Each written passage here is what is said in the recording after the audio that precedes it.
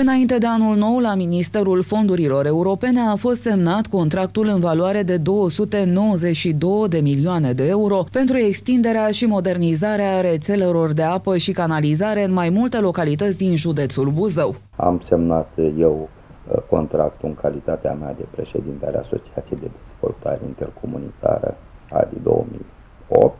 și doamna manager a companiei de apă ca și reprezentant al companiei de apă este meritul echipei care a lucrat aproximativ 5-6 ani ca acest proiect să fie implementat, atâta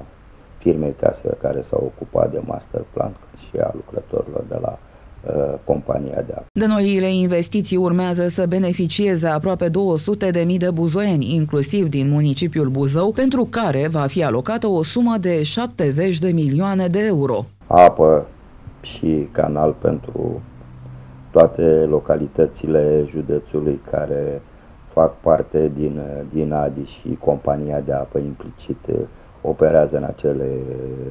zone. Uh, compania de apă Buzău a semnat acest contract pe fonduri europene, care, cred eu, este benefic pentru aproximativ 200 de mii de locuitori ai județului, atât pentru cei din municipiul Buzău, cât și din, așa cum spuneau, din uh, zonele unde operează compania de apă. Dacă licitațiile vor decurge fără probleme, lucrările ar putea începe în vară. Eu, așa cum am declarat și în cursul anului trecut, când deja se știa că uh, vom să semnăm